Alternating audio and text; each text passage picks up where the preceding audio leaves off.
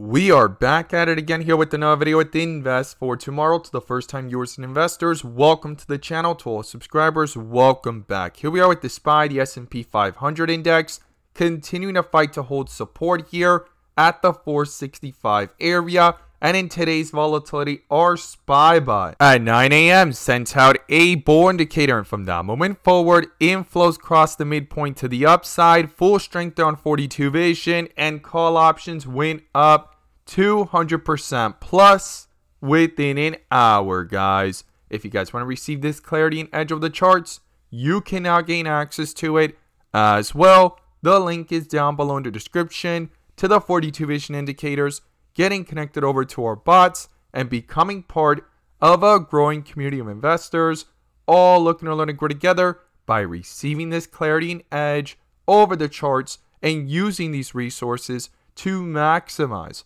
in either direction, whether stocks are going up or going down. So here we are with the SPY, the S&P 500 index, continuing to fight to hold support and testing key resistance levels and in today's video, we're going to break down the key levels I would watch going into next week, what's going on with the inflow versus outflow, and bull and bear indicators. But before we do, I want to share with you guys the home run opportunity that was mentioned this morning over at the Discord. So the home run today was spectacular and beyond expectations. And if you guys want to know about these stocks early on and receive this clarity and edge of the charts, you can now gain access to it as well. The link is down below in the description to the 42 vision indicators getting connected over to our bots, and becoming part of a growing community of investors, all looking to learn and grow together. So the home run idea was from our AMD bot. Our AMD bot at 8:55 a.m. sent out a bull indicator, and from that moment forward, inflows crossed the midpoint to the upside.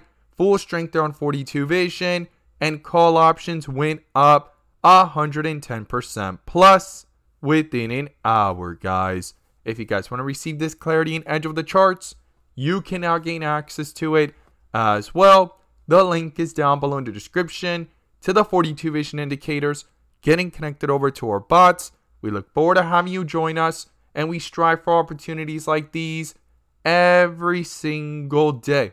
Let's jump to these charts. Here we are with the SPY, the S&P 500 index, doing a full transition from the dip area to the rip area today. And if this is your first time coming across the channel, this is 42 vision, which allows us to see the dips from the rips, the rips to the dips, and where the strength and weakness lies within the charts. And we also use our bull and bear indicators and inflow versus outflow as an extra layer of confirmation, which I'm going to pull up here and you can now gain access to uh, as well. The link is down below in the description to the 42 vision indicator, getting connected over to our bots and becoming part of a growing community of investors, all looking to learn and grow together by receiving this clarity and edge over the charts and using these resources to maximize in either direction, whether stocks are going up or going down. And in today's video, I'm going to pull up the inflow versus outflow indicator, which adds that extra layer of confirmation and gives us that edge within the volatility. So here we are with the SPY, the S&P 500 index with a bull indicator popping up here on the 30 minute in the first half of the day at the 466.50 area,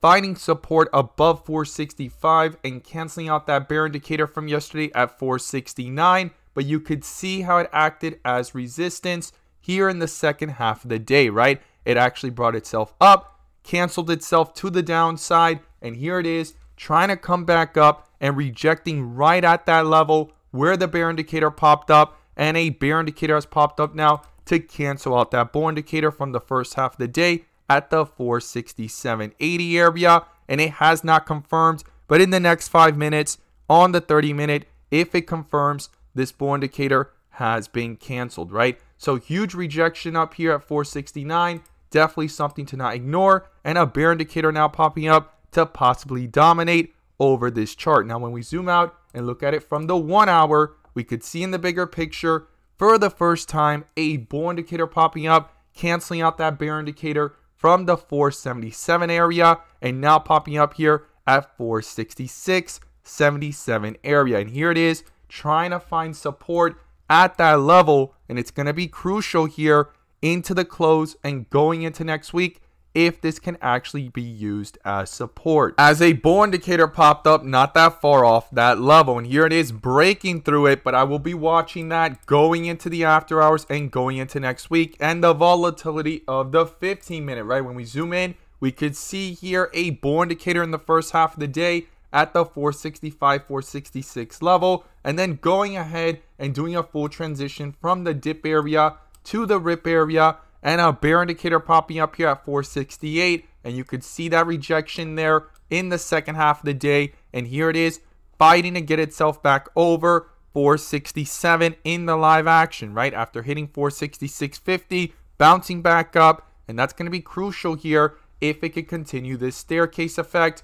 within the volatility right? So I'll be watching that closely going into next week. Now what's going on with the inflow versus outflow we're going to pull it up and we're going to break down the key levels I would watch going into next week. Here we are with the SPY stock, the S&P 500 index, with inflows crossing over into the open and justifying that move to the upside here in the first half of the day. Now, outflow started to dominate here in the second half as we see it. It's crossed over and it's at negative 1.38 so far. And this is going to be crucial for it to level off and switch from red to green and pull back up to justify any move to the upside as we are seeing the SPY trying to get back up here in the live action above 467. So that's going to be crucial and I would not overlook that here within the inflow versus outflows on the 30 minute. Now, when we zoom out and look at this from the one hour, we could see in the bigger picture inflows picked up for the first time to cross over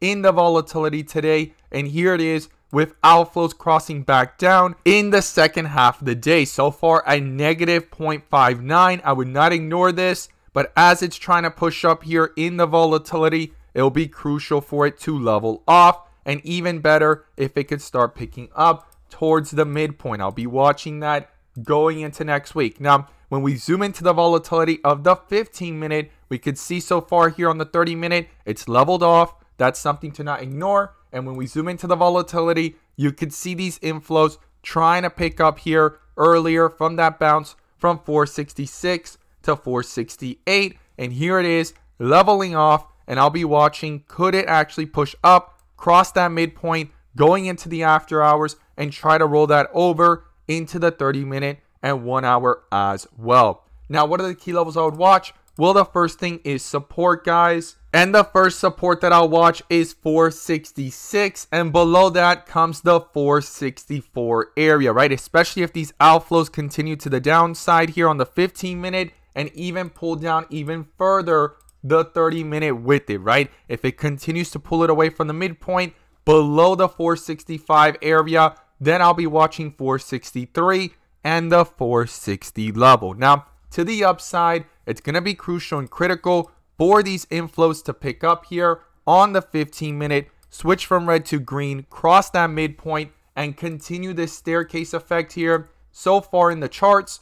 And the first resistance is the high of the day, guys, right? Up here at the 470.50 area, not that far off of it. It hit highs up here of 470.44. And then above that level, if these inflows could roll over, into the 30 minute as well and the one hour as both the 30 minute and the one hour are below as well. So that's something to not ignore there. And we could see here in the second half how fast a sharp push to the upside has happened here. The 15 minute is pushing up. It's going to be crucial for these inflows to pick up. But if we zoom into the five minute, we could see inflows trying to head towards the midpoint and that push up that's happening here live as we started this video. It's back above 467 and it's trying to head towards 468 here. So far highs up here of 467.84.